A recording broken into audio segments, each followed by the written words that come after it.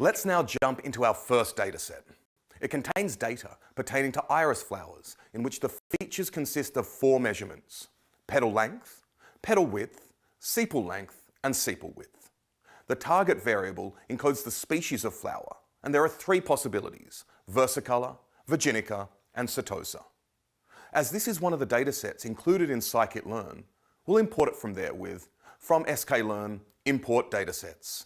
In the exercises, you'll get practice at importing files from your local file system for supervised learning. We'll also import pandas, numpy, and pyplot under their standard aliases.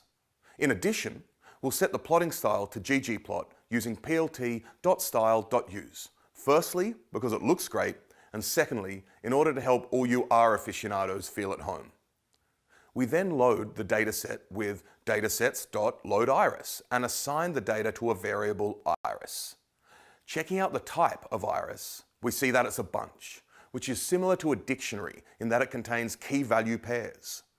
Printing the keys, we see that they are the feature names, desc, which provides a description of the dataset, the target names, the data, which contains the values, features, and the target, which is the target data. As you see here, both the feature and target data are provided as NumPy arrays. The dot shape attribute of the array feature tells us that there are 150 rows and four columns. Remember, samples are in rows, features are in columns. Thus, we have 150 samples and the four features, petal length and width and sepal length and width. Moreover, Note that the target variable is encoded as 0 for setosa, 1 for versicolor, and 2 for virginica.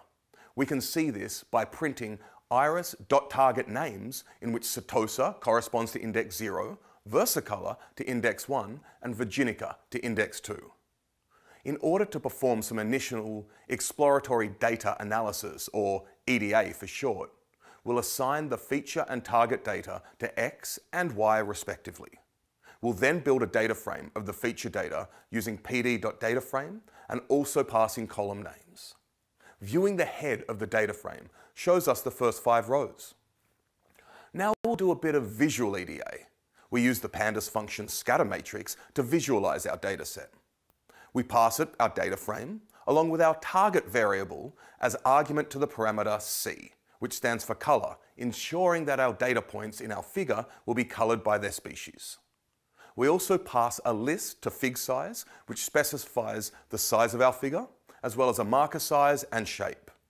The result is a matrix of figures, which on the diagonal are histograms of the features, corresponding to the row and column. The off-diagonal figures are scatter plots of the column feature versus row feature coloured by the target variable. There is a great deal of information in this scatter matrix. See here, for example, that petal width and length are highly correlated, as you may expect, and that flowers are clustered according to species. Now it's your turn to dive into a few exercises and to do some EDA. Then we'll be back to do some machine learning. Enjoy.